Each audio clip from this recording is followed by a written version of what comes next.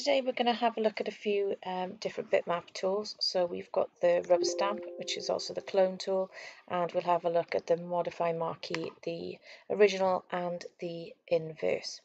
Okay, so I've copied an image from the internet, and if I now paste it on, and when you actually uh, copy an image and go to paste it, it actually should give you the perfect size. Now I haven't done anything with it, but this should actually fit perfectly into my page.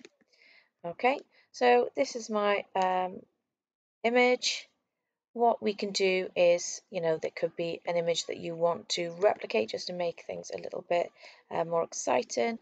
So if I wanted to uh, copy this part of the image, what I do is I click and show where I want to copy, click away, and now if I just do that, it is actually cloning part of that image.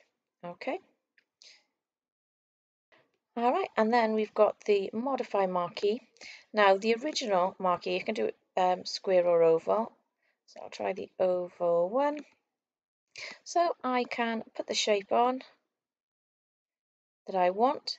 Now, if you do it as the original, if I press delete, this is going to uh, remove the parts of the image inside. Okay, so if I show you like that, all right. So if you don't want image some of the image inside, you can do that. Or if you want to get rid of the outer edge, which is what we actually want, you need to right click, go to modify marquee, select inverse, and then press delete. Okay, so then it gets rid of what's on the outside.